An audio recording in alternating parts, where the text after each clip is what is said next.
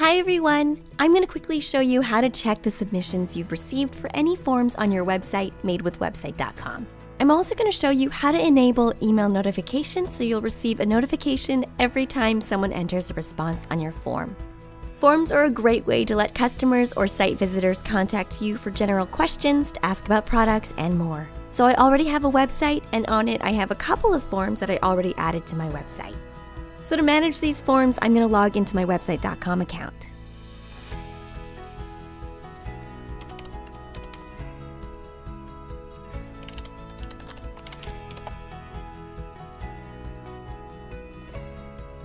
Now I'm in the member dashboard and I'll click Access Website Builder to go to the site builder.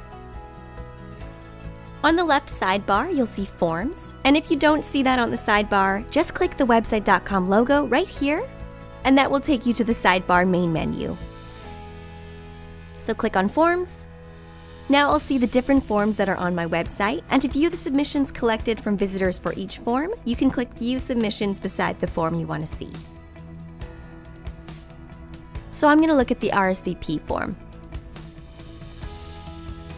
And here are all the submissions. Now I'm going to show you how to turn on email notifications so that you'll receive a notification every time you receive a new submission on your form. So we'll go back to the form manager, and this time I'm going to click Go to this form in Editor. So click on the Form section, and that will trigger the options for the Form section. Now scroll on the left until you see where it says New Submission Notifications so I see that it's already toggled on. If I click on it again, it will be disabled, so I'll just click on it and make sure it's enabled. So here is the email that you'll receive form notifications to, and double check to make sure that's where you want to receive your email notifications. You'll see this option include form data in email. So right now it's toggled off. And because this is toggled off, every time I receive an email notification about a form submission, it will simply let me know that I've received a submission, but I'll need to log into the site builder and go to the Forms Manager to see all of the data that has been submitted. If I toggle it on, so I'll toggle it on, now I'll also be able to see the submission entry and details in each email.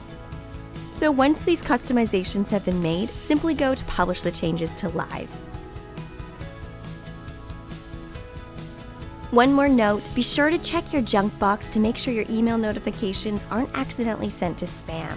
If you find that a form submission notification email has been sent to your junk box, be sure to move the email to your inbox, mark it as not spam, and mark the sender as a safe sender and add them as a contact.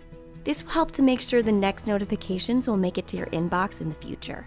So that's it for this video. We also have a more comprehensive video showing you how to add forms to your site and more tips on viewing and exporting your form data. Don't forget to subscribe to website.com for more website and business tips, and thanks for watching.